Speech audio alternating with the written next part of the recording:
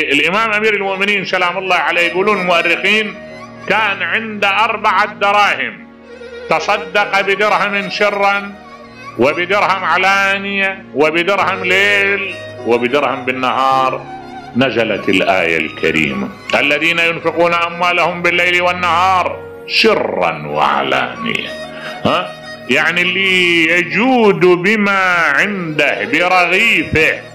يجود بقوت طعام يرجع إلى البيت يد من وراء ويد من أمام وما يحمل من الطعام شيء ويتصدق بالطعام للبائس نعم؟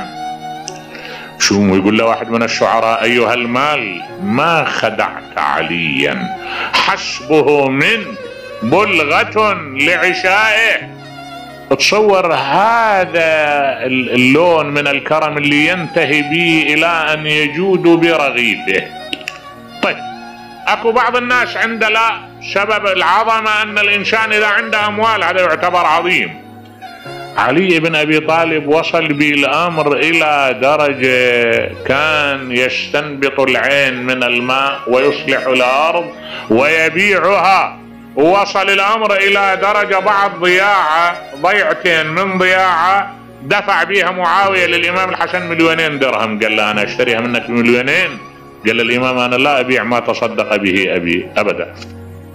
هذا الرجل جميع الأموال اللي كانت عنده وفي خارج أيام الخلافة. وفي أيام الخلافة انتهى الأمر إلى أن تكدس بين يديه تلول من الذهب والفضة يصنفها بعود بيده ويقول يا صفراء يا بيضاء غري غيري أإلي تعرضت أم إلي تشوفت؟ هيهات فأمدك قصير وزادك حقير.